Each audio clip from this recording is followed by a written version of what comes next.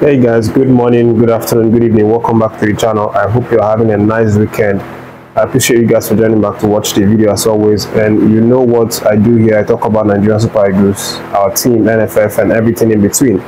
So guys, uh, in this video, I have a number of interesting updates. Uh, first, let me let you know that, uh, you know, the actual amount of players that Coach Finidi uh, submitted to the NFF uh, has now been reviewed and it's reported to be uh, 35 players right now that he has submitted to the NFF. Of course, uh, you know, if you follow the last video, you know that uh, I talked about uh, Finidi obviously submitting uh, a, list of players that he would want to call up for the forthcoming World Cup qualifiers game uh, next month.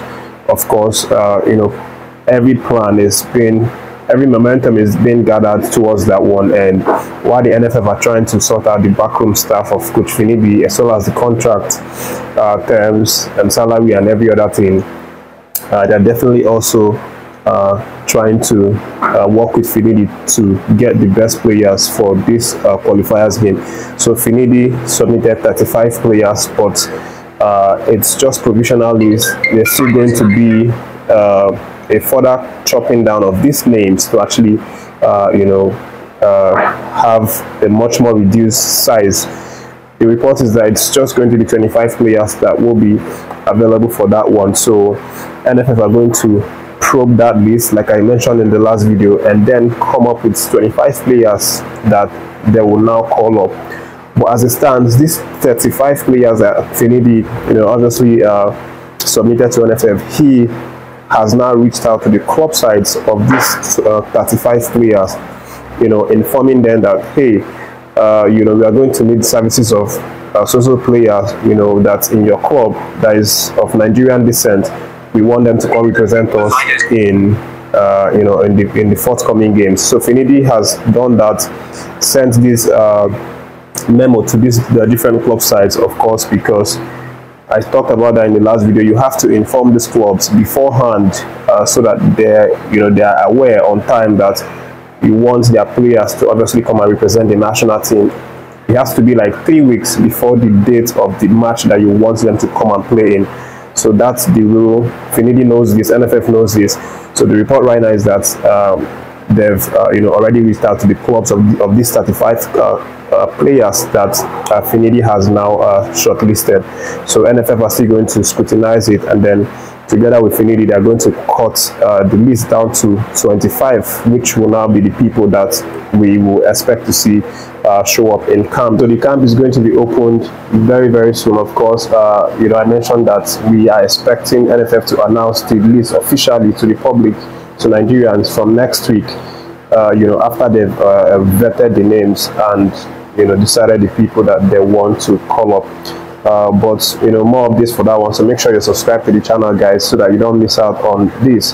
Finidi obviously would be looking to uh, start his Super Eagles uh, coaching career on a high after uh, he, had, a bit of a you know, a bit of a, a, question mark in the two in the uh, friendly that he played, especially the one against Mali that we lost 2-0.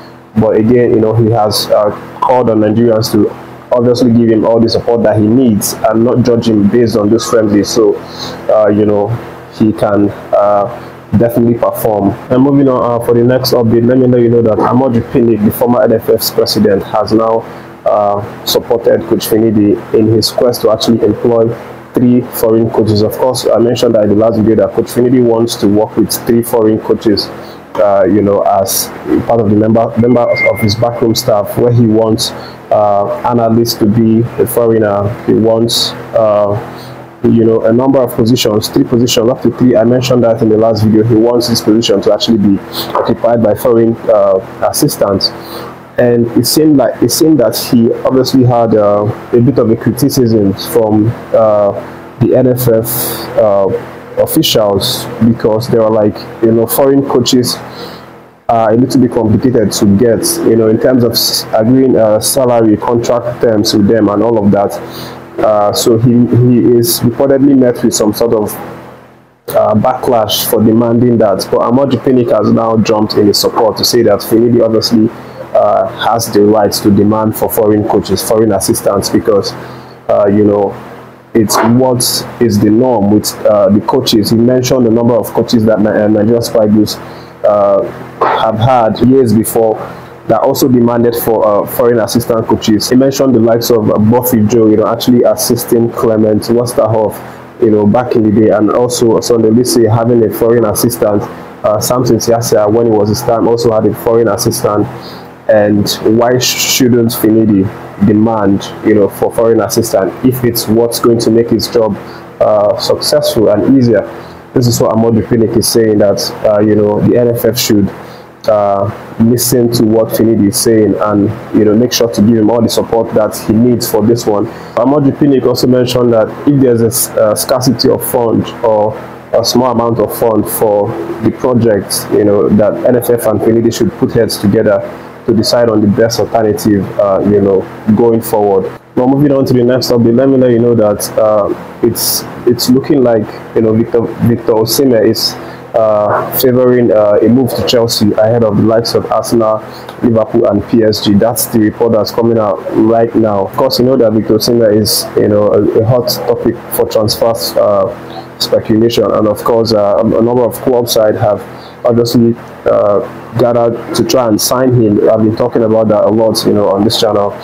And uh, you know, the latest right now is that Chelsea appear to be uh, favored because Osimhen reportedly wants to uh, wants to move to Chelsea ahead of you know the likes of all these other clubs that I mentioned, and of course uh, the Chelsea obviously made the first attempt to try and sign Osimhen last week. I talked about that in one of the videos where they you know brought out uh, between uh, 80 to 90 uh, million euros, and then Lukaku and one young star again uh, to try and get to Sime, but Napoli reportedly rejected that offer that they, are, they, are, they don't want to deal with uh, swap and then you balance me money sort of thing. They just want, if you're ready, you bring bring you bring the full cash and then you take your player.